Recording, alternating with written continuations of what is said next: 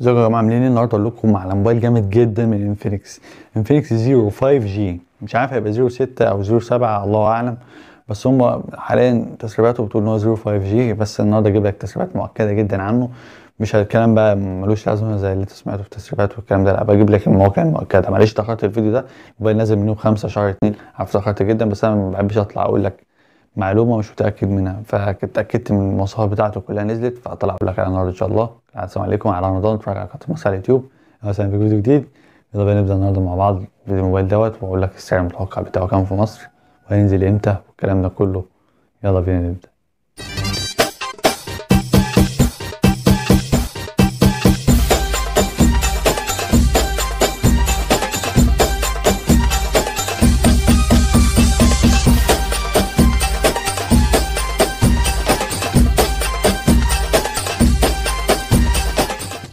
بكم مره تانية. وخلينا نتكلم الأول على التصميم كده سريعا سريعا عشان التصميم مفيهوش حاجة جديدة أتكلم عليه. مش هقول لك اللون وشكل الكاميرات ورصة عجباني ورصة فيها frame معرفش إيه والكلام ده ما مالناش دعوة بيه. المهم الموبايل جايب ألوان كويسة جدا. أعرضها لك أكيد طبعا وأقول لك عليها. بس الموبايل هنا ظهره بلاستيك بالكامل frame بلاستيك.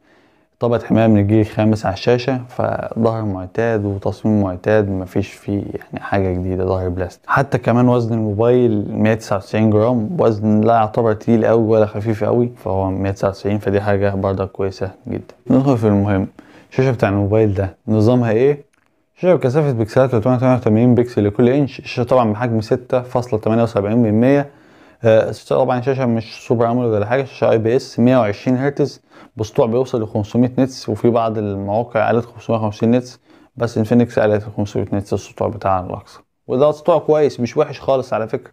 دايما سطوع الموبايلات فوق 480 nits بيكون كويس ما تطمن خالص يعني مفيش حاجة مقلقة قوي نبدأ بالأداء مع بعض. الموبايل جاي من العلبة بأندرويد 11 وواحدة سواجه من إنفينكس إكس أو إس 10 وبس. ندخل بقى على الاداء بتاع الموبايل المعالج نظامه إيه؟ صراحة المعالج هنا إنفينكس يا جماعة يعني داخلة في شغل جامد. معالج ميدي تك معالجات متطورة من فئة Dimensity بصراحة بتكون كويسة جدا. معالج هنا ال Dimensity 900 بتكنولوجيا 6 نانو. معالج محترم في توفير طاقة كويس جدا وأداؤه مستقر لابعد حدود يعني. إن هو نزل في كام موبايل قبل كده وأداؤه كان مستقر. وحرارته برضك مش عالية فمحدش اشتكى منه. هو معالج تحسه هادي في نفسه كده. بس يعني أداؤه حلو هيبسطك. طبعا المساحات بتاع الموبايل وكده الأول طبعا كانت خطين وكارت memory يعني ال dedicated متاحة دي في الموبايل إنك تركب خطين وكارت memory في نفس الوقت. وطبعا المساحة بتاع الموبايل ده 128 جيجا و8 جيجا بايت RAM. نوع الذاكره الداخليه UFS 2.1 المعتاد دي حاجات مش محتاج نتكلم عليها ونضيع وقت فيها. بس النسخة الوحيدة من الموبايل ده 8 و128 بس اللي تم الإعلان عنها وهيتم نزولها قريب في الهند وفي الصين وفي الدول اللي بره. بعدين تنزل مصر هنا بعد شهر مثلا. المهم مش عايزين نسبق الأحداث أقول لك السعر المتوقع واقول لك كل حاجة عن الموبايل وهينزل إمتى والكلام ده. شوية كده في آخر الفيديو ندخل في الحاجات الأهم ألا وهي الكاميرات بتاع الموبايل ده. الموبايل ده نازل بثلاث كاميرات خلفية هما الاسم ثلاث كاميرات بس هم ملهمش غير واحدة أساسية. الكاميرا الاساسيه هنا في الموبايل ده 48 ميجا بكسل فتحة 1.8 وده حاجة كويسة جدا. كاميرا معتادة مش الأحسن أكيد يعني ما في حاجات 64 وفي في 108 ميجا بكسل فيها السعر دي. ولكن بصراحة يعني 48 تقضي الغرض أكيد مع المعالج القوي اللي هنا أكيد معالجته هتكون كويسة في الصور. المهم مش هنسبق الأحداث الكاميرا التانية 13 ميجا بكسل هي مش زاوية واسعة ولا حاجة هي كاميرا telephoto. مهمتها إنك بتخليك تعمل zoom لحد 2X من غير ما تخسر أي تفاصيل ومن غير ما الموبايل ما يتهز معاك. الكاميرا التانية 2 ميجا بكسل وما قالوش نوعها إيه بس أعتقد أعتقد الكاميرا التالتة ديت 2 ميجا بكسل للعزل. مش أكتر من كده. مفيش طبعا ultra wide زاويه واسعة ودي حاجة غريبة شوية. بس مين أصلا بيقدم كاميرا تصوير زاويه واسعة حلوة ومرضية تحت خمس ست آلاف جنيه؟ مفيش. كلها 8 ميجا بتكون مش حلوة. فخلينا نعديلها الحتة دي ونشوف العيوب التقيلة اللي جاية. طبعا فلاش رباعي والمعالج لما قلت لك قوي هنا بصراحة يعني كنت أدي كلمتي المعالج هنا بيدعم تصوير فيديوهات لحد جودة 4K ففي تصوير ده بصراحة كويس جدا. أحسن من معالجات كتير بنفس السعر. يعني عندك شاومي نوت 11 بالمعالج بتاعه ميت. يعني بتلاقيه كوالكوم فئة 600 وبيصور فيديوهات أقصى حاجة 1080p. هنا معالج ميديتك كده محترم بيصور فيديوهات 4K وأكيد أكيد يعني بيصور فيديوهات 4K بثبات إلكتروني. في المؤتمر بتاع الموبايل ده انفينكس ما جابتش أي سيرة أو أي كلام عن الصوت بتاع الموبايل. فمن الواضح كده إن الموبايل جاي بسماعة واحدة مش صوت ستيريو. من الواضح يعني. تلاتة ونص مللي موجود في الموبايل ده بتاع السماعات الحمد لله ما شالوهوش من الموبايل ده لأن في شركات بدأت تشيل نفس سماعات تلاتة ونص مللي من أجهزتها الفترة الحالية واللي جاية. هو طبعا لو بتتساءل أو كده تسألني في comment تحت في الموبايل ما بيدعمش ال NFC ال NFC يعني الاتصال التلامسي وكده والكلام ده أنتوا عارفينها طبعا بس هو الموبايل ما بيدعمهاش يعني عشان تبقى فاهم. الموبايل بيدعم ال face unlock وبصمة على الجنب بتاع الموبايل على زرار ال power والبطارية بتاع الموبايل هنا 5000 ملي أمبير. بطارية كبيرة. وشاطرة إنفينكس بصراحة. على البطارية دي إن هي ما حطتش بطارية أصغر من المنافسين زي المنافسين.